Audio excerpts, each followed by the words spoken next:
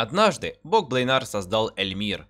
Это был обычный небольшой мир, в котором было всего два острова и проживало четыре расы.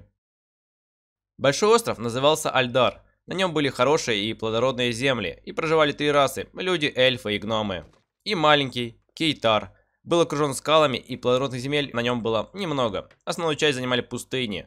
На нем проживали орки. Многие годы на острове Альдар шли войны за территорию, а из-за магии, которая была в этом мире обычным делом, гибли тысячи жителей. Но не могла война длиться вечно, и наступила эра мира и гармонии. Страны объединились, подписав союз. Все территории были поделены, и все были довольны. Никто не подозревал о грядущих бедах. Орки были крайне сильной расой, но менее развитой. И долгое время не подозревали о существовании Альдара. Они также сражались за территории на своем острове, но объединило их не просветление, как у других рас. Просто однажды шаманы узнали о наличии более плодородных земель на другом конце мира. Они наложили на простых орков проклятие, жажду крови, которая объединила всех против нового врага. Мирная жизнь на Альдаре пошатнулась, когда с океана приплыла армия орков. Хотя их было значительно меньше, чем изначально поплыла из Кейтара. Все-таки хищные рыбы значительно потрепали их ряды. Но все равно под жаждой крови они были серьезным противником. В сражении погибло много альдарцев, но победа была на их стороне. Похоронив падших товарищей, маги трех раз объединились и наслали громы молнии на кейтарцев, чего те явно не ожидали. Молнии и пожары забрали жизни многих орков.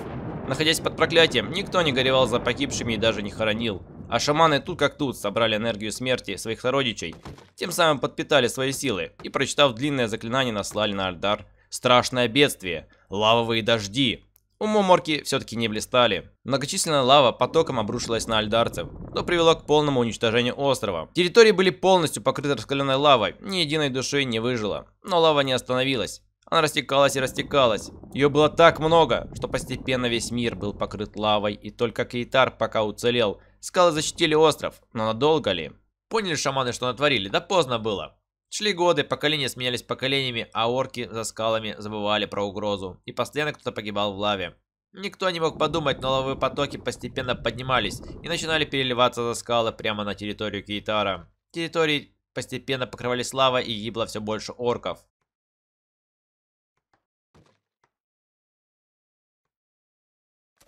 Бог долго смотрел на гибель своего творения и не выдержал. «Да пошло оно все!» Прокричав, наслал черную дыру на оставшуюся часть острова орков, чтобы не мучились, и поставил точку в существовании этого умирающего мира.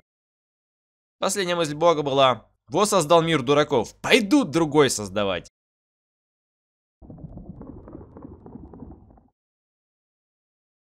Надеюсь, тебе понравился мой рассказ. Если да, то чего ж ты ждешь? Жми кнопочку подписаться, ставь свой королевский лайк и про колокольчик не забудь, чтобы ничего нового не пропустить.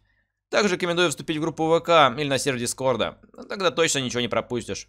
Ссылочки в описании, а в комментариях можешь написать свое мнение и, возможно, какие-то идеи для новых рассказов. Спасибо за просмотр. С вами был Блейнар.